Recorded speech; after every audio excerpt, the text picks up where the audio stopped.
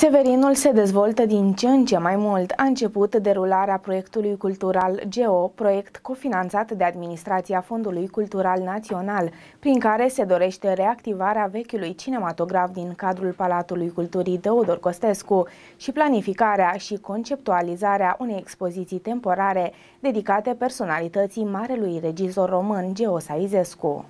Proiectul GEO continuă valorificarea și transformarea printr-o serie de intervenții culturale a Castelului de Apă, monument istoric restaurat în anul 2014, dar și alte spații culturale aflate în patrimoniul Palatului Culturii Teodor Costescu. Se lansează pentru implementare un proiect extraordinar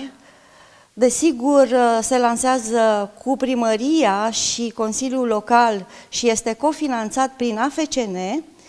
un proiect care pune în valoare patrimoniul cinematografic al uh, comunității locale, se numește GEO și așa cum uh, sigur vă gândiți și dumneavoastră, uh, numele GEO vine de la numele marelui regizor și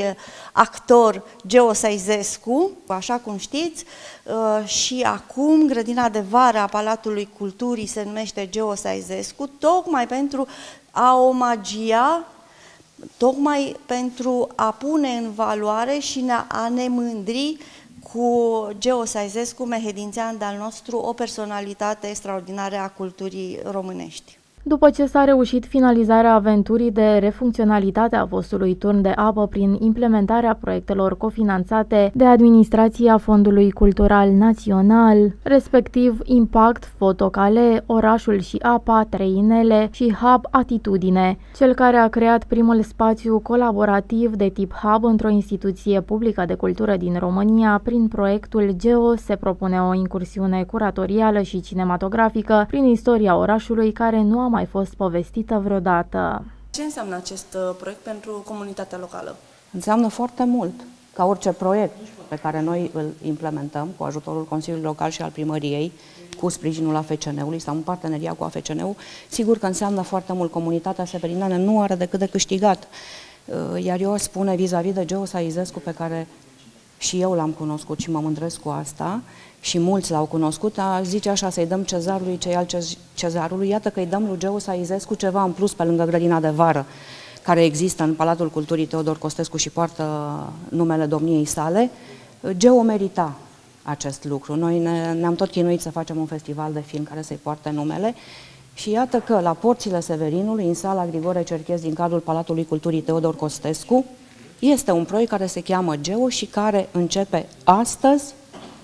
cu dumneavoastră, alături de dumneavoastră, dragii noștri severineni. De această dată se dorește valorificarea patrimoniului cinematografic al orașului printr-un proiect care, din punct de vedere conceptual, are două mari direcții de acțiune reactivarea vechiului cinematograf din Palatul Culturii în sala Grigore Cerchez, cu o capacitate de 100 de locuri, care se va transforma în unul dintre cele doar șapte astfel de spații, cu proiecții de artă din toată țara. Planificarea și conceptualizarea unei expoziții temporare dedicate personalității marelui regizor român Geo Saizescu, în spațiul de la etajul 1 al Castelului de Apă, concept rețeaua națională a muzeelor din România și producție Zeppelin Studio, câștigător al premiului DASA 2020 pentru cel mai bun proiect expozițional interactiv european. Filmele care vor fi proiectate în cadrul proiectului GEO sunt următoarele Balul de sâmbătă seara, Secretul lui Bahus, Păcală, Astă seară dansăm în familie.